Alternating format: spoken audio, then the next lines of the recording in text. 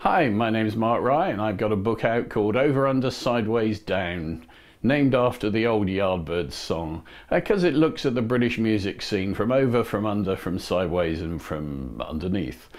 This book gathers together stories from the last 50 years of the British music scene. Its musicians, its artists, its managers, its road crews, its secretaries, its publishers, it's all sorts of people. The extraordinary things they did for the gig to happen, the extraordinary thing they did to make the record happen.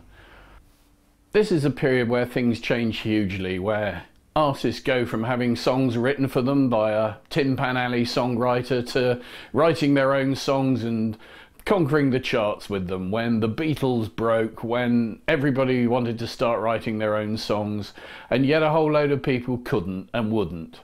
This book starts with the post-war years when teenagers came into being and thought that music would change the world and that they could change the world.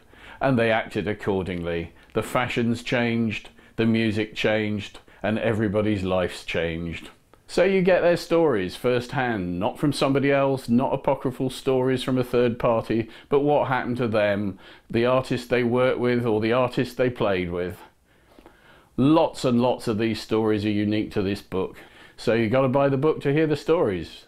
This book's available on Kindle, on Amazon, and from our own company, magpiedirect.com.